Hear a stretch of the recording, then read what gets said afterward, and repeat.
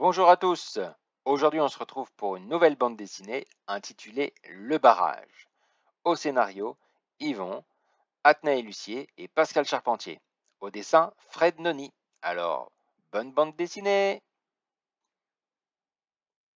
Je viens de lire ta bande dessinée et j'ai beaucoup aimé ta métaphore entre les émotions du castor et celles de l'investisseur.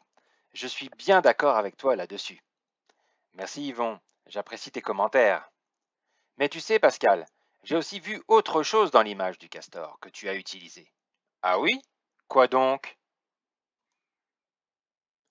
Je trouve qu'il y a vraiment un parallèle à faire entre les barrages que les castors construisent et le barrage qui existe présentement en finance.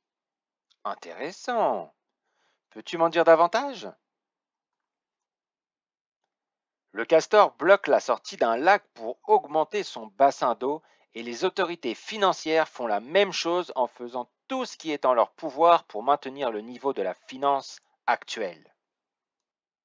Waouh C'est une analogie tellement vraie et puissante Ils construisent leur barrage en rachetant massivement les obligations pour maintenir les taux bas en stabilisant la bourse lors de mauvaises nouvelles, en contrôlant la baisse les prix des matières premières. Ça donne l'impression que tout est normal et stable. Le problème, c'est que l'eau est toujours plus puissante que n'importe quel barrage. Un bon coup d'eau, soudain, vient à bout des meilleures constructions de Castor. Et ce sera la même chose avec le barrage actuel en finance. Tu as bien raison. À vrai dire, je pense qu'il y a déjà plusieurs morceaux de barrage qui ont cédé à la pression de l'eau qui est immense actuellement.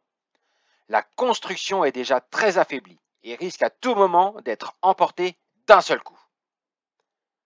À voir l'engouement des derniers mois sur le marché boursier, il faut croire qu'il y a pas mal de monde qui se sont construits un chalet autour de ce beau grand lac sans aller vérifier la décharge du lac. Après une grosse nuit de pluie, ils vont se réveiller un matin et leur beau lac aura disparu, ne laissant qu'un quai au milieu de la vase. Et voilà, terminé pour aujourd'hui.